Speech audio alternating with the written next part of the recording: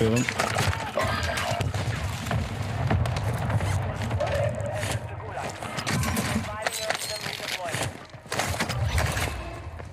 One one requesting recon at the Whoa, whoa, whoa, whoa. planting cluster mine. You guys are fucking dog water, dude. I've faced I'm steamy piles of dog dog. shit that played better than you trash cans. I'm still alive though.